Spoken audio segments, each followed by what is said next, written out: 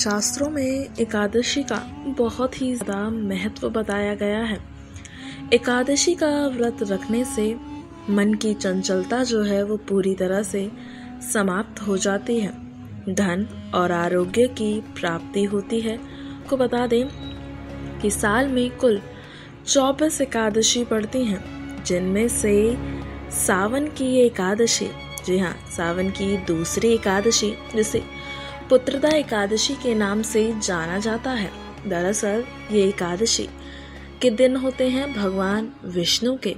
इस दिन भगवान विष्णु और माँ लक्ष्मी की भी उनके साथ पूजा की जाती है। ये व्रत जो है, व्रति स्वस्थ संतान की प्राप्ति के लिए करते हैं।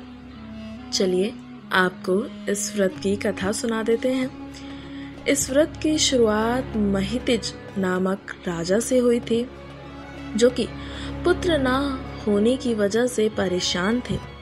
महिजित अपनी प्रजा से भी बेहद प्यार करते थे। अपराधियों को कड़ा दंड वजह से प्रजा अपने राजा से बहुत ही खुश रहती थी। लेकिन महाराज एक वजह से हमेशा दुखी रहा करते थे और उन दुख का ये कारण था कि उनके बाद उनका राज्य कौन संभालेगा। एक दिन राजा ने अपनी प्रजा से कहा, मैंने आज तक कोई बुरा काम नहीं किया और न ही कभी किसी का दिल दिखाया। मुझे एक पुत्र की प्राप्ति नहीं हुई। प्रजा ने कहा, महाराज, इस जन्म में तो आपने अच्छे कर्म किए, पर शायद आपने पिछले जन्म में कोई गलत कार्य किया होगा, जिस वजह से आपको पुत्र रत्न की प्राप्ति नहीं हुई। प्रजा ने अपने महाराजा को महर्षि लोमेश से बात करने की सलाह दी।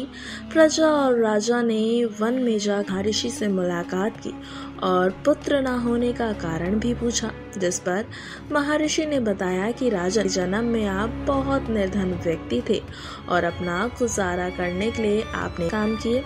महर्षि लोमेश ने ये बताया कि पिछले जन्म में महाराज एक प्यासी गाय को पानी लेकर खुद पी गए थे, जिसकी वजह से उन्हें ये पाप लगा। उस दिन ज्येष्ठ मास की शुक्ल पक्षी की द्वादशी तिथि थी। इसी कारण महाराज को इस जन्म में पुत्र का वियोग सहना पड़ रहा है।